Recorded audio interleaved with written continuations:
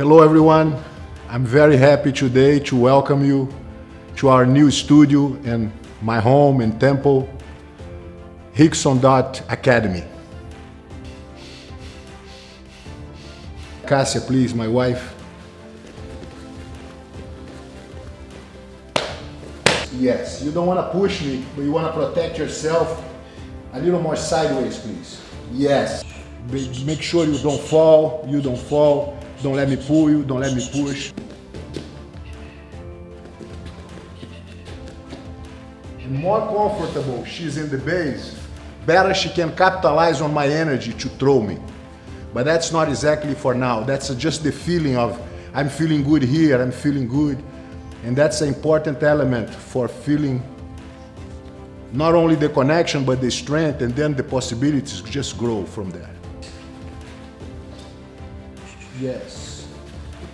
Those little adjustments with your hips makes all the difference in order for me to accomplish or have no success on the attempt of a throw.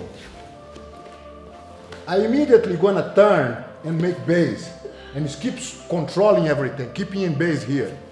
So what I did is to bring my weight to my leg and keep everything steady.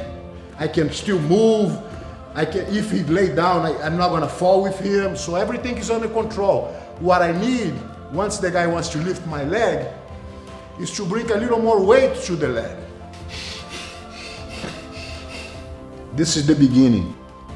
From here, I'm planning to offer you guys with love and efficiency and experience my jiu-jitsu. I feel like will be a good contribution to the community and I hope you like it because it's time for us to develop our invisible and visible jiu-jitsu. Come in and practice with me. See you soon.